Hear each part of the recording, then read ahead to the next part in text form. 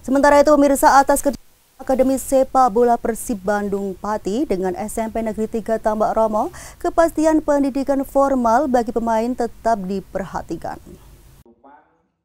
Raihan Muhlis menjadi salah satu pemain dari Akademi Sepak Bola Persib Bandung Pati yang tetap mengikuti pendidikan formal dengan mengikuti kegiatan MPLS di SMP Negeri 3 Tambak Romo. Total ada 58 siswa yang mengikuti masa pengenalan lingkungan sekolah di SMP Negeri 3 Tambak Romo.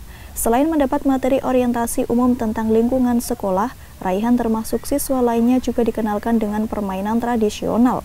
Raihan mengaku senang dengan minatnya dalam bermain sepak bola tetap berjalan dengan masih mengikuti pendidikan secara formal. Ia pun mengatakan jika sudah mengikuti berbagai program latihan di Akademi Sepak Bola Persib Bandung Pati. Ikut kompetisi belum? Apa itu kompetisinya? Bosby 13. Adiknya usia berapa? Naik 13. Mengikuti di Akademi Persib atau belum? Sudah apa aja yang udah didapat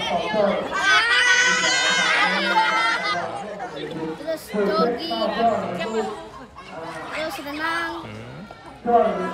dan selain-lainnya Sementara itu, Ketua Tim MPLS SMP Negeri 3 Tambak Romo, Suharjito menjelaskan kegiatan tersebut dilaksanakan selama tiga hari.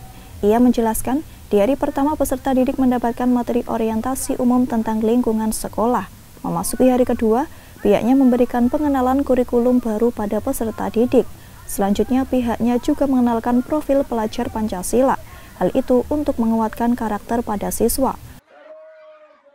Ada belajar yang menyenangkan. Nah, itu yang kita lakukan di hari terakhir ini. Memang pembelajarannya dilakukan di luar ruangan untuk memberikan eh, pembelajaran yang berbeda sesuai dengan kurikulum yang yang ada yang kita yang kita ikuti pada tahun pelajaran tahun ini seperti itu.